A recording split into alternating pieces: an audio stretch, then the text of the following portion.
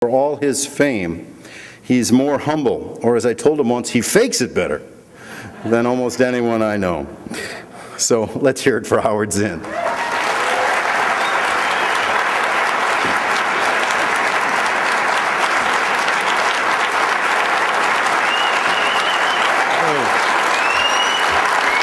Thank you. Thank you. Yes. Thank you. As, as Matt said, I'm a very humble person. I'll try to be humble for the rest of my talk, but it's not easy, given my enormous ego. Uh, but Matt's told accurately about my coming to the progressive. And I must say this that I've never had an editor like Matt Rothschild, really. You may wonder, well, what does that mean? I've never had an editor who's a bird watcher. really. That's very important. But more than that, he, no, he really is a, a great editor. Uh, he reads everything carefully. Uh, he doesn't give you a hard time. And uh, that's the sign of a good editor. Uh, so I'm very happy to write for The Progressive. The, the readership of The Progressive is a very special readership. Well, there you are. you're, you're out there. Very, yeah, really, they're very special readership. a peculiar readership. yes. In a good way, yeah. anyway, I'm happy to be uh, introduced by Matt. I'm happy to be on the same platform with Will Durst, whom I've never heard, and well, he is a very funny guy. and, uh, and happy to be on a program with, with Barbara Ehrenreich and Bob Redford. Yeah, this is, it's, you know, I'm honored. So now I will try to sober things up a little. Um, by, I thought I would introduce an idea which I've been toying with, uh, and I thought this is a good crowd uh, to introduce this uh, idea with, you know. Uh, and it's about three holy wars. That's my sort of in my title, in my head, that's my title uh, of, of this talk. Although it's not a very formal talk, but three holy wars. What does that mean? I'm not talking about religious wars. I'm talking about the three wars in American history that are sacrosanct. The three wars that you cannot say anything bad about.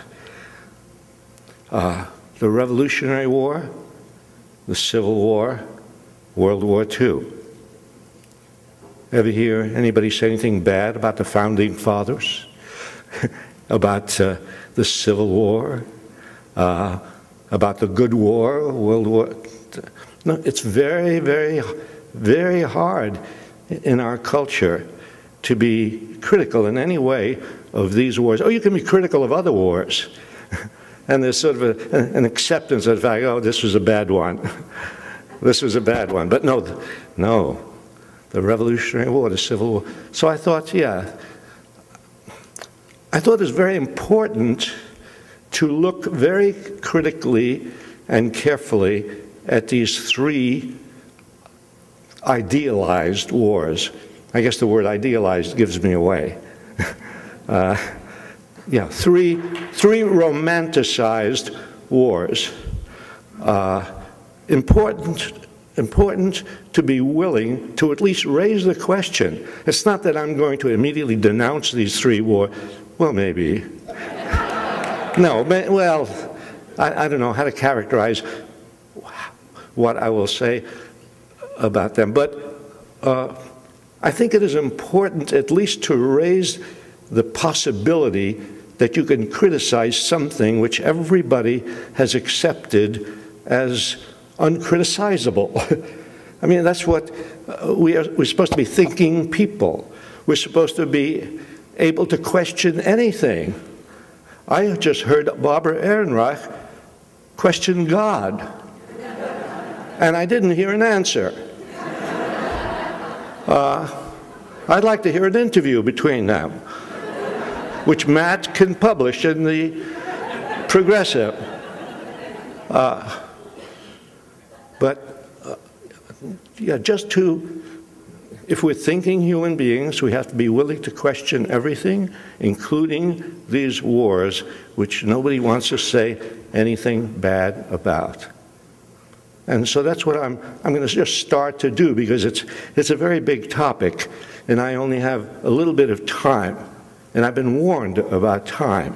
They have a guy here who warns you. And he's a very tough looking guy. And he, he warns you about time. So I only have a bit of time, just enough to introduce a few ideas, just to think about okay? Uh, one, of, one of those ideas is actually something, uh, Matt mentioned Erwin Knoll.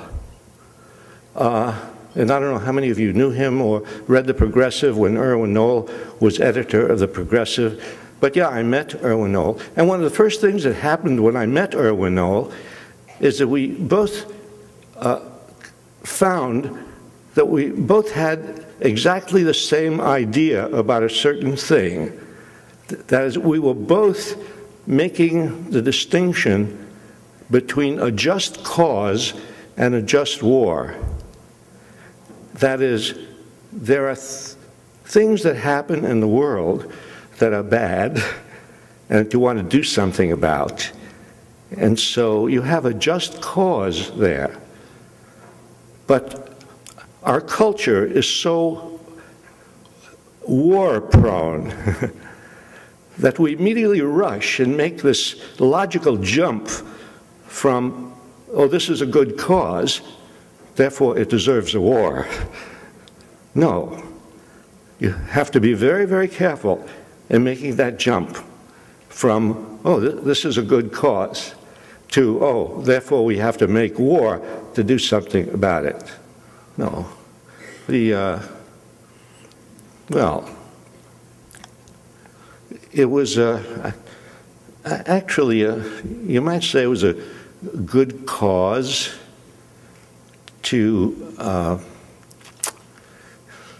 get Spain out of Cuba in 1898. Spain was oppressing Cuba. But did that necessarily mean, therefore, we had to go to war against Spain? Uh, you have to examine that war very carefully to see what it produced. You know, you have to see, you have to then understand that we got Spain out of oppressing Cuba and got ourselves in to oppress Cuba. so, very careful. You might say that uh, stopping North Korea from invading South Korea was, a, there's a just cause there. They shouldn't do that. it's not good. It's not right. Does that mean, therefore, we should go to war to stop it, especially if that war, and, and you know, the Korean War is one of the least known wars. It's sort of a, a war that's been lost in history. Two to three million Koreans died in that war. The cause, a just cause. North Korea should not invade South Korea. So we go, what's the answer? War. What's the result? Two to three million Koreans dead. And is there any particular change in the alignment of South Korea and North Korea? No, it starts off with a dictatorship in South Korea and a dictatorship in North Korea. And it ends up, after two million dead, with a dictatorship in South Korea and a dictatorship in North Korea. I'd be very careful about rushing from one thing to another, from just cause to just war. Uh, and Erwin Knoll is the only other person I found who was thinking exactly along the same lines. I'm always looking for somebody who's thinking along the same lines as me. That's what I do. I go around looking for people. very gratified when I find somebody. The, American Revolution, independence from England, a just cause. Yeah. Why should a group of colonists here be occupied by, yeah, they were occupying us, they were, uh, yeah, oppressing us. Uh, therefore, we go to war, the Revolutionary War. How many people die in, in the Revolutionary War? Oh, nobody knows exactly. By the way, you'll find out when you look at the statistics of war dead that nobody ever knows exactly how many people die. Who cares?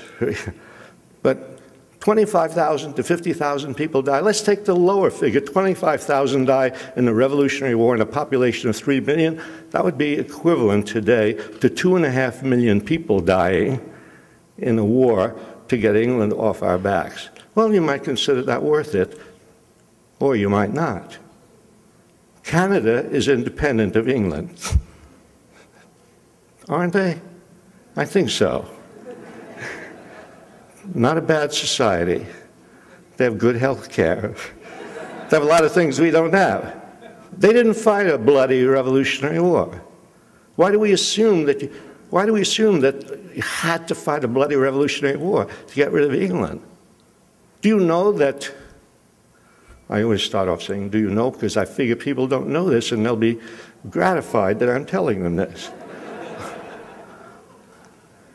that in the year before the first shots were fired, those famous shots, were, you know, the shot that was heard around the world, you know, Lexington Concord, April of 1775, the beginning of the Revolutionary War, that the year before that,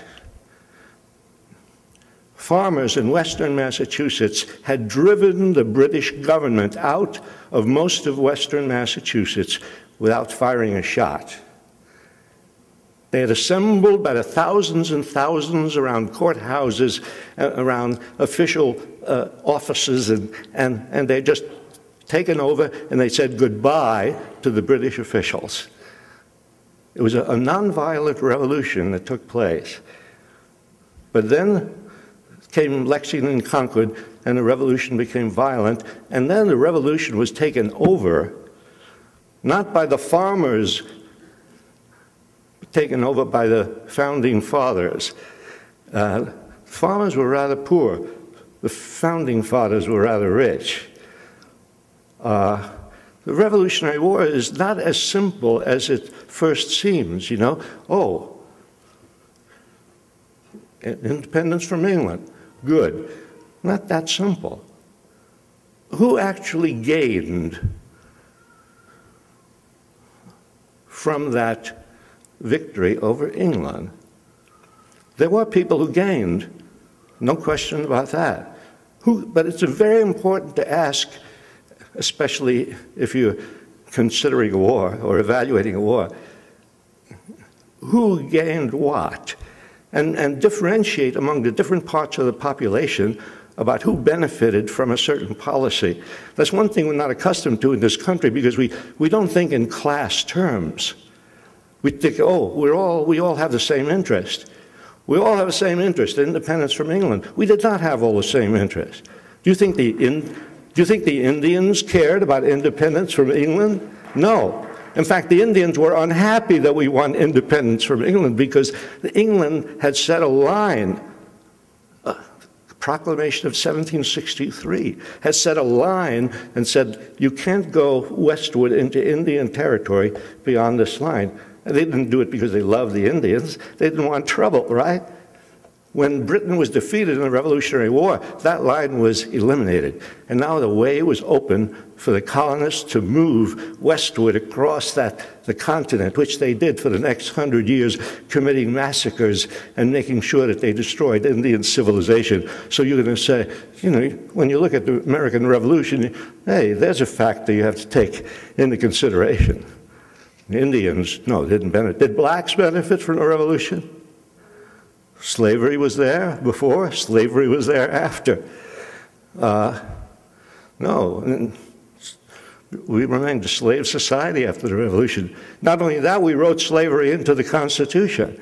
We legitimized it. Uh, what about class divisions? Why do we assume, well, aside from blacks and slaves and Indians? What about just ordinary, let's say, white farmers? Did they have the same interest in the revolution as John Hancock or Gouverneur Morris or Rich or Madison or Jefferson or the slave owners or the bondholders? Not really. It was not, it was not all the common people getting together to fight against England. They had a, Washington had a very hard time assembling an army. Uh, well, they, they've got an army. They promised people, they took poor guys and promised them land. Uh, they browbeat people. And, and, oh, yes, and of course they uh, inspired people. Well, let's have the Declaration of Independence. Wow, this is what we're fighting for. It's always good if you want to get people who go to war to give them a, a good document and to have good words in life and liberty and the pursuit of happiness. Yeah, that's what we're fighting for. Of course, when they write the Constitution, it's not life, liberty, and the pursuit of happiness. When they write the Constitution, it's life, liberty, and property. Have you noticed that difference? You should notice, you should take notice of these little things.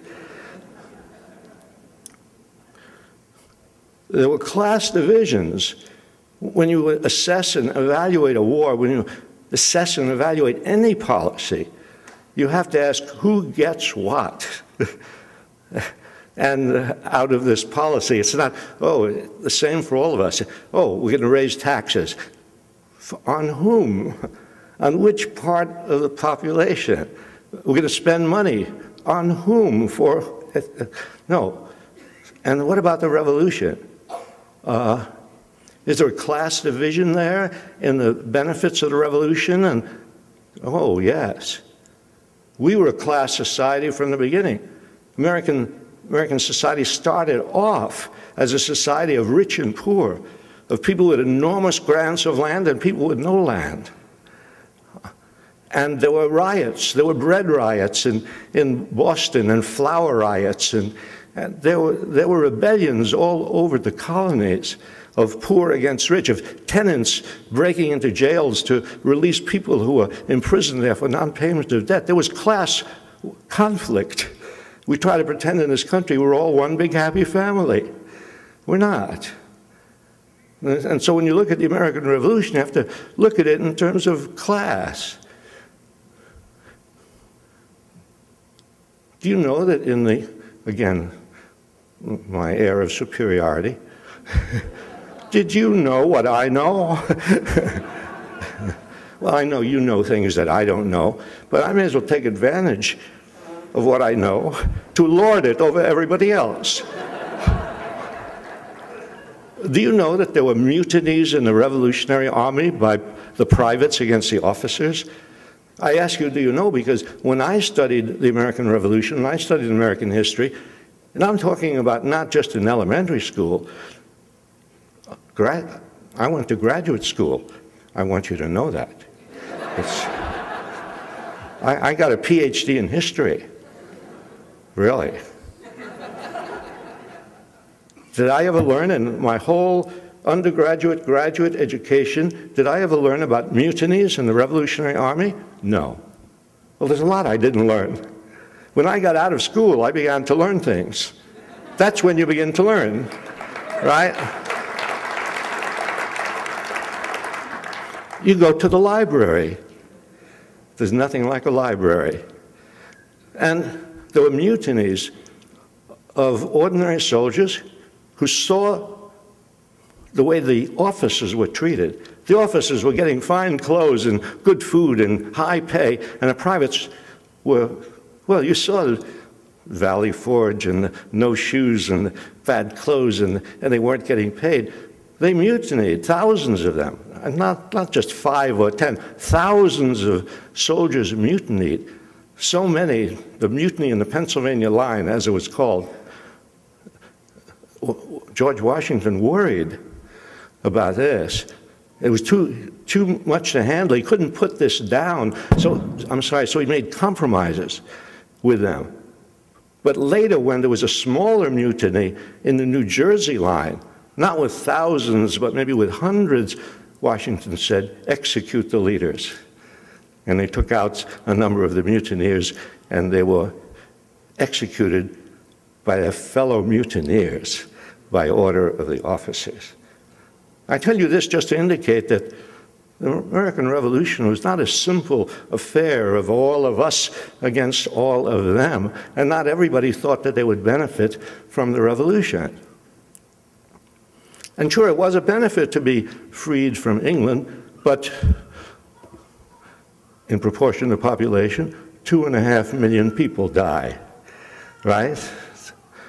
Uh, there's a, a when considering war, the human cost needs to be measured on, against what you gain from war. And on both sides of that ledger, problems arise because when you think about the human cost, generally it's an abstraction. Oh, so many and so many people died. It's a number. You give it a number. Uh, World War II, uh, 400,000 died. Civil War, 600,000. The, the World War II, 50 million people died in World War II. Yeah. But it becomes, what does that mean in human terms? Uh, so the tendency is on that side of the ledger, if you really want to have an accurate assessment of weighing the cost against the benefits, you have to look at that cost not as an abstraction, not as a statistic, but you have to look at it in terms of every human being who died and every human being who lost a limb, and every human being who came out blind, and every human being who came out mentally damaged. You have to put all of that together when you are assessing that side of the ledger, the cost of the war, before you ask the question, well, was it worth it? Was it a just war? Was, you know, yeah, you have to get side, that side of the ledger right. One of the things that, great things that Drew Gilpin Faust did, I don't know if you know about her book, the uh, book she wrote about the Civil War. Uh, it's a wonderful book. Great thing about her book is she brings home in very explicit, very human terms the what happens to human beings in that war. The Civil War was an ugly, brutal war of amputation after amputation after amputation done out in the field without anesthetics, you know. Uh, so you have to have a careful assessment of that. And then on the other side, okay, this is the cost. You have to, now you know the real cost, the real human cost. And on the side of gain, you have to ask the question I asked about the Revolutionary War who gained and who didn't? And what were the class divisions, and what did this class gain, and what did that class gain. I'm looking to see if this guy is following me. If you see somebody creeping up behind me, let me know. Uh, um, in the Civil War. Again, we learn about the Civil War North versus South, the blue versus the gray, battles, Antietam and Gettysburg. Hey, who in the North? Who in the South? What divisions were there? Well,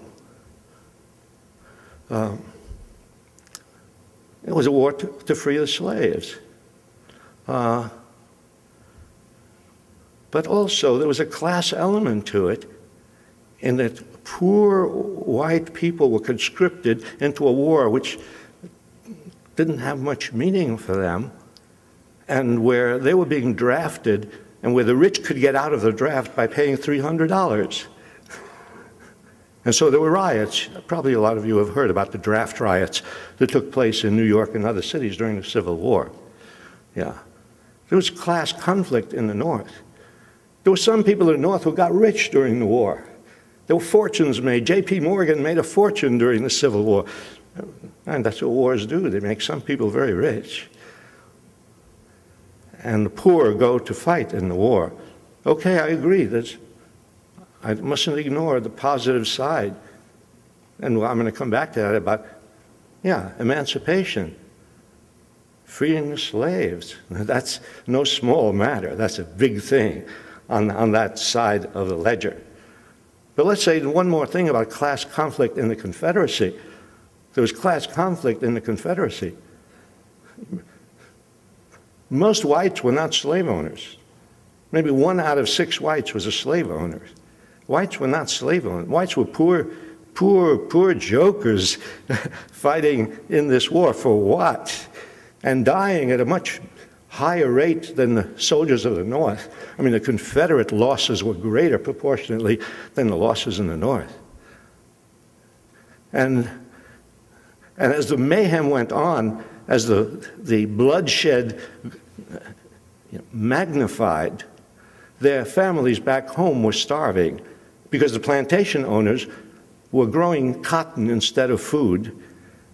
And so the wives and the daughters and the uh, girlfriends and sisters, and they began to riot. They rioted in, in Georgia and, and Alabama. They rioted uh, in protest against the fact that their uh, sons and husbands were dying at the front while the plantation owners were getting rich. Huge desertions in the Confederate Army. This class thing had to be examined. But let me come back to the great positive thing that happened out of the Civil War the emancipation of the slaves.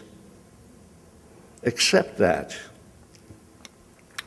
it was not totally an emancipation. Uh, yes, in a certain sense it was, in another sense it wasn't. Uh, now that's important because if you're going to lose 600,000 dead in the Civil War, which is equivalent proportion of population to 5 million dead today. Imagine a war in which we wage on our soil, state against state, in which 5 million people die.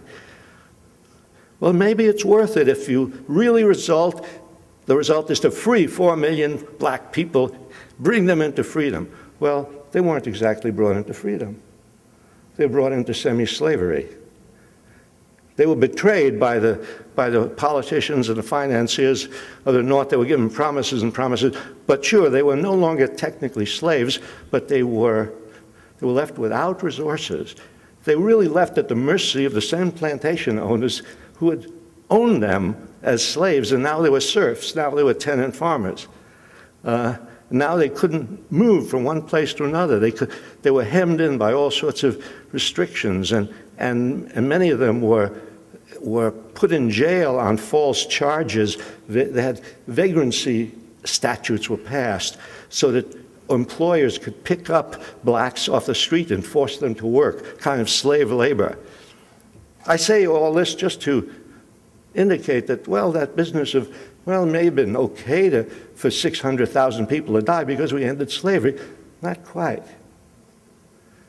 It's possible that slavery could have been ended another way without 600,000 dead. That's something we don't think of. Just like we don't think of, could we have won independence from England without a bloody war? The thing about bloody wars, the thing about winning something with violence, is that that is controlled from the top. It's, it's not a people's war. Neither the Civil War nor the Revolution War, not a people's war. There are people at the top. They're the ones who gain the most you know, out, out of this situation. And uh, so you have to ask the question yes, could slavery have been ended another way? There are other countries in the Western Hemisphere that ended slavery without a bloody civil war. Other still have a green light.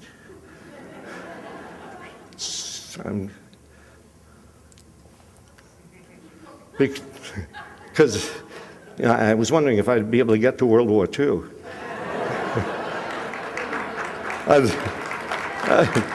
and uh, um, which I volunteered be, to be in. Maybe you know that. Maybe you know my, my whole history. Maybe you know more about me than I do. But yeah, I volunteered for the Air Force in, in World War II and flew bombing missions over Europe. I did it because it was a good war. It was the right war. It was, it was a just war. It was, uh, yeah. Uh, well, after I got out of the war, I began to think and think sometimes and research and so on and, and go back over things and, and learn about Hiroshima and Nagasaki. Because when, when the bomb was dropped on Hiroshima and I had just finished my missions in Europe and was going to go to the Pacific to continue dropping bombs, and a bomb was dropped on Hiroshima and the war ended soon after, wow, that's great. I welcomed it. Did I really know what happened when that bomb was dropped on Hiroshima? Did I know what happened to those people?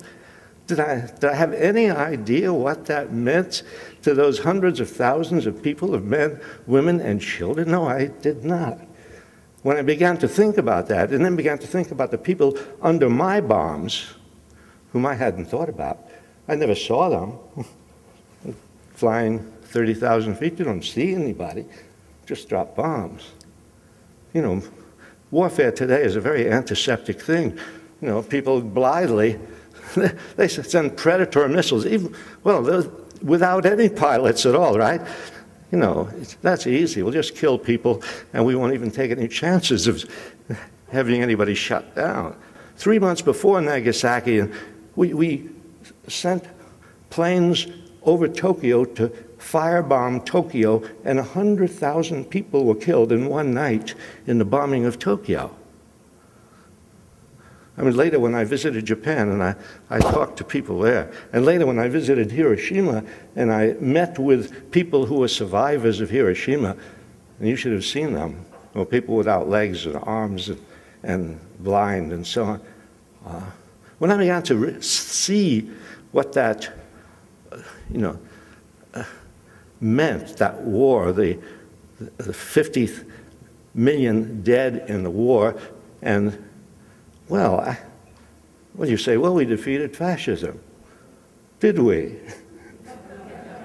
Did we, really? That's another thing, you know. So you find that a Revolutionary War, well, the, not, not everything turned out well after the Revolutionary War. Not everything turned out really that great after, and certainly not to warrant that many people killed. And what about World War II? 50 million people dead, and oh, sure, you got rid of Hitler, you got rid of the Japanese military machine, and Mussolini, but did you get rid of fascism in the world? Did you get rid of militarism? Did you get rid of racism? Did you get rid of war? We've had war after war after war. What did those 50 million people die for? You have to rethink this question of war and come to the conclusion. I think the guy who's monitoring this has fallen asleep. And, and believe me, I am not going to wake him.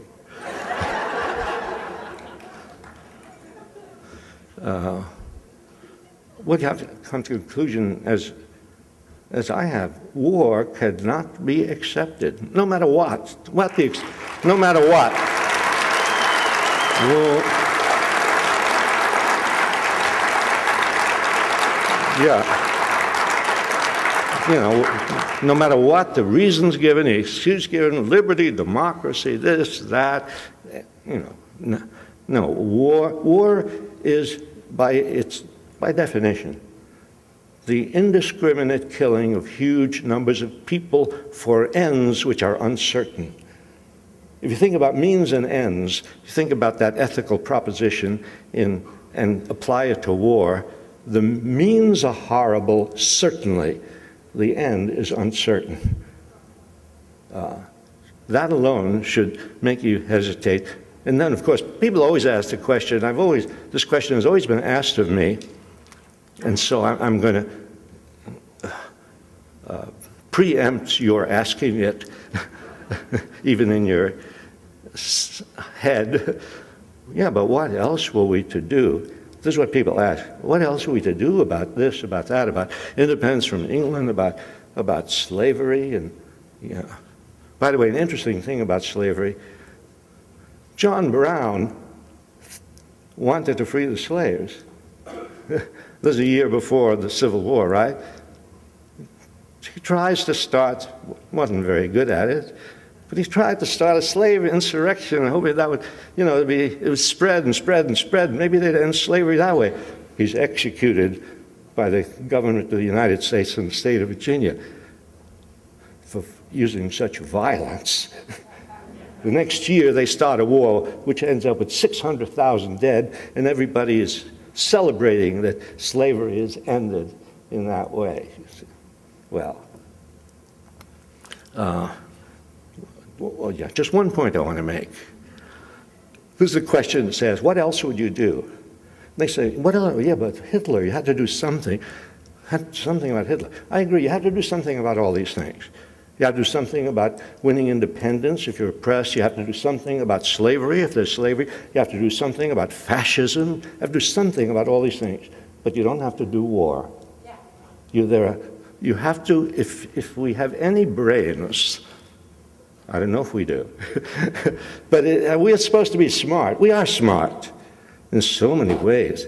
Surely we should be able to understand that in between war and passivity, there are a thousand possibilities, you see. And, but it's curious that once once a historical event has taken place a certain way, as once history has played itself out in a certain way, you know, oh, Hitler invades Czechoslovakia, Poland, we go to war, war lasts a number of years, the war is over. Once it has played out in a certain way, fascism is over. Once it's played out that way, it becomes very hard to imagine that you could have achieved that result some other way. You know, it's because there's a when, when something has happened in history, it takes on a certain air of inevitability. This is the only way it could have happened. No, no. Uh, and you see so many instances in history where things, surprising things take place that you wouldn't have imagined. I mean, if, if the African National Congress had decided on a bloody war of rebellion against the apartheid system, well, that might be justified. Get, end apartheid? Yes. They'd, there would be a war. They'd end apartheid. Maybe a million people would be killed, mostly black people. And if it happened that way, then you would say, well, I guess it was the only way it could have been done. Apartheid ended because the African National Congress decided, no, we don't want that. We're going to do it another way. We're not going to be passive. We're going to fight back in various ways. We're going to have strikes. We're going to have all sorts of things. We're going to have economic pressure. We're going to do all sorts of things to bring down this regime little by little, to erode its power. Yeah, but we're not going to have a bloody war in which we are going to be the victims, mostly. Anyway, a few. So, ah, finally, you're saved say? Well, you get my point, right? That's all I have to say.